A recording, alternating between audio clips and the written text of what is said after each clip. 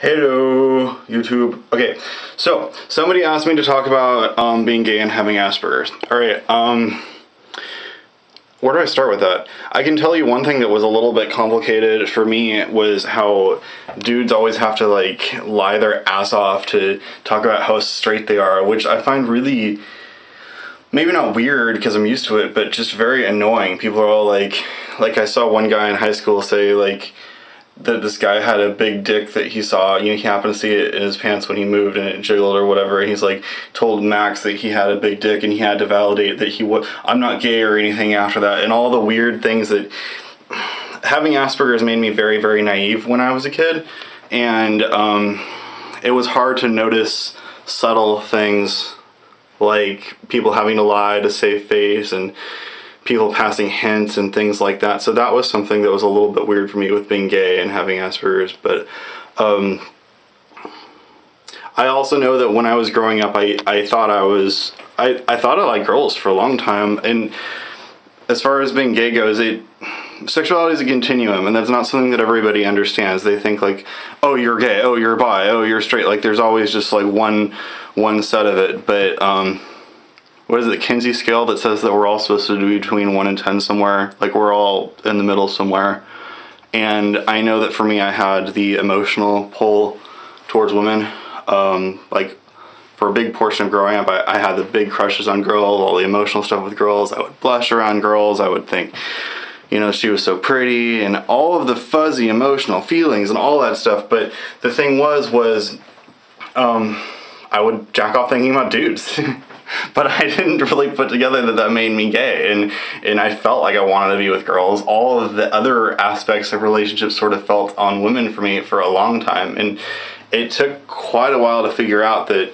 What is it? It was around 15 where I started to really feel like lonely for for male affection, and um, just desperately needed hugs from men and just physical support from men started joining christian stuff where guys hugging guys was okay and i needed that kind of support. I needed that kind of encouragement. Um, anyway so that's a little bit about being gay and having asperger's and, and how that was difficult to figure out and how i essentially had two coming outs of sorts because there was less known about asperger's at the time and having mild autism and the ways that it's different and the ways their head is wired different and um, I understand it a great deal now on both things. I, I feel like I have a good grasp on human sexuality and and having autism and, and, and processing things differently. But um, you know, growing up, I was really lost. You know, people that are the middle kid usually have ignored problems. For me, I was the third of five. Um, second of four boys in five years, and I had an older sister that was 10 years older than my dad had.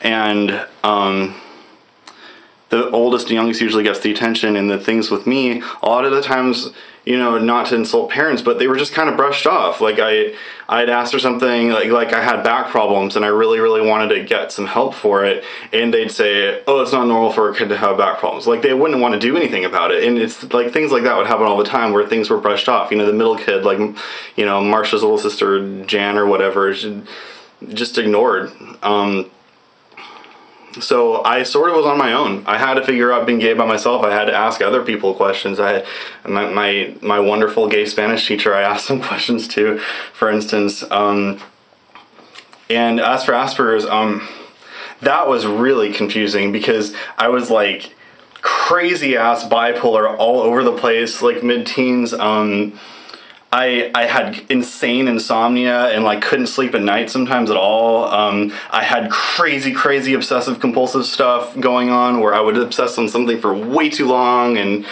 all sorts of weird OCDs that I had. Um,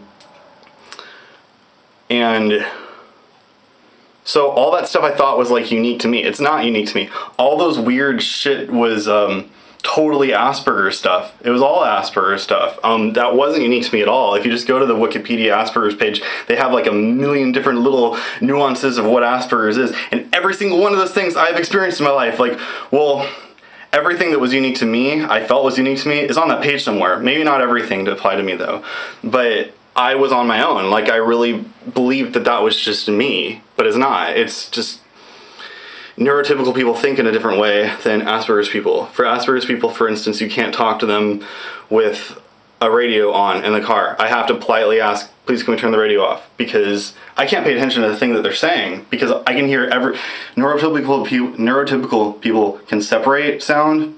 Asperger's people, autism people can't. They hear everything all at once. They process it completely differently.